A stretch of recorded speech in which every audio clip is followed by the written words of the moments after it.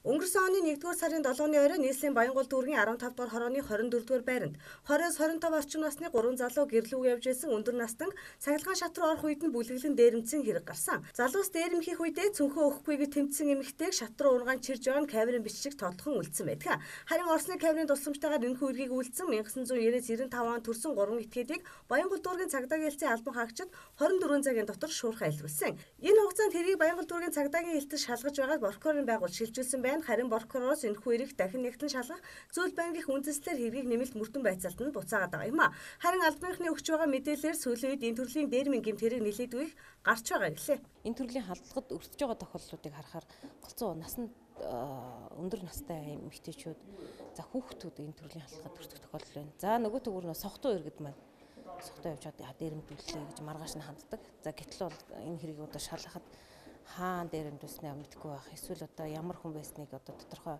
мэдээлэл өгөх юм боломжгүй байх юм тохиолдлууд байна л да.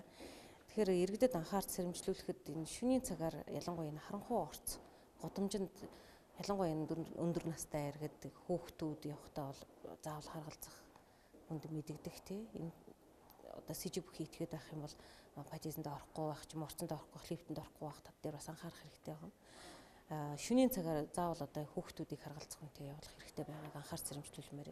Ер нь одоо энэ бүртгэж байгаа хэрэгүүдээс энэ сургуулийн насны хүүхдүүд өдрийн цагаар үнтэй гар утсаа дээрэмдүүлэх юм тохиолдол гарч байна. Тэгэхээр сургуулийн багш нар бас энэ тал дээр анхаарч хүүхдүүдэд хичээл таарахад нь анхааруулга эцэг эхчүүд мөн өглөө хүүхдийг сургуульд нь хөргөж өгтөө хүртэл одоо утсаа ил барьж авахгүй байдлаас эхсүүлэл одоо сэрэмжлүүлэх шаардлагатай байна л да.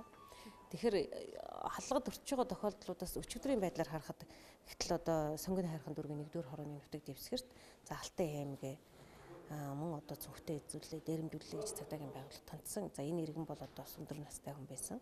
Цагдаагийн байгууллага бол хэргийг илрүүж шалгаж байна гэмт этгээдийг. Тэгэхээр энэ одоо хэрэг үлдэж байгаа этгээдүүдийн хувьд хөдөө орон нутгаас одоо хотод ямар тодорхой ирсэн ажилгүй залуучууд энэ хэрэгт холбогдох тохиолдол байна.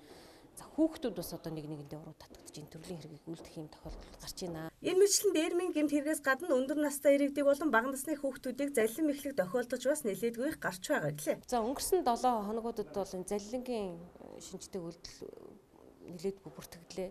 Энэ төрлийн гэмт халлагад өртсөн дандаа хүмүүс байна. Хүүхдүүд өндөр настай иргэд 80 гаруй насны иргэдэг одоо танд сувилэлт явуулж өгнө гэж хэлж одоо алтай аим гэх бусад зүйлийн одоо залилсан хэрэг бүртгэгдсэн. За мөн одоо сургуулийн насны хүүхдүүдийг буйны өвөлд одоо бэлэг өгнөө та нарт энэ одоо буйны өвөл бэлэг өгч гин гэж гэх нэрээр хүүхдүүдийн одоо цүнхтэй эд зүйл гар утсын залилсан олон өвдөлттэй этгээдийг одоо цагдаагийн байгууллагын ажилтнууд мөрдөн шалгаж байна. Тэгэхээр одоо айлын герт хүүхдүүд амрах үеэр байдаг шүү голцоо. Хүүхдүүд гэртээ ганц нэгээрээ байх тохиолдол ээж чинь найз байна. Одоо энэ засварчин байна гэх маягаар одоо гэрт нь орж одоо заллим гэсэн энэ төрлийн хэрэгүүд цагдаагийн байгууллагад бүртгэгдэж шалгаж удаатай.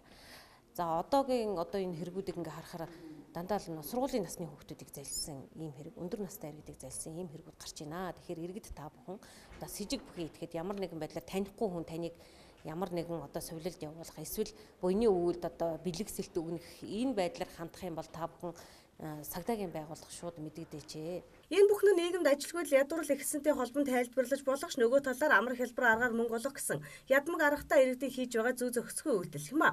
Ээжигийн өндөр настай иргэдийг хайлах сэтгэлгүй зодож бие махбод болон сэтгэл санаанд нь хүнд гэмтэл учруулж байгаа этгээдүүдэд хүлээлгэх хуулийн хариуцлага өндөр гэдгийг дахин сануулъя. Иргэний хуулийн 147 дугаар зүйл ангид зааснаар бол дээрмийн ирэх 5-8 жил бүлэглэн үлдсэн бол 10 жилийн хорих хял оноодог зүйл заалттай юм а.